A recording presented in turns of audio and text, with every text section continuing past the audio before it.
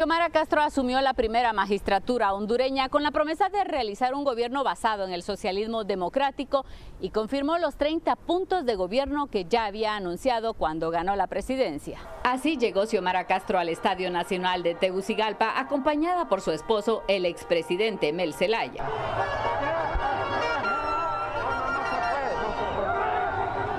Ante la mirada de la comunidad internacional encabezada por la vicepresidenta de los Estados Unidos, Kamala Harris, el rey de España, Felipe VI y otras personalidades, prometo ser fiel a la República.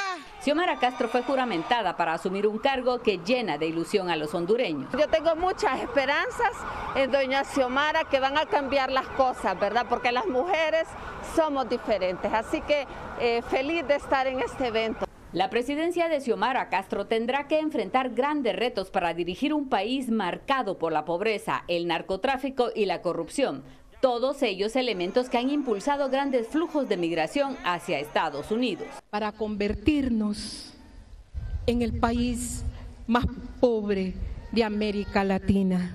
Esta cifra por sí misma explica la caravana de miles de personas que de todas las edades huyen para el norte, México, y Estados Unidos. Xiomara Castro anunció un combate frontal contra la corrupción y confirmó que pedirá a las Naciones Unidas la formación de una comisión internacional contra la impunidad, decisión que ha sido aplaudida por el gobierno de los Estados Unidos.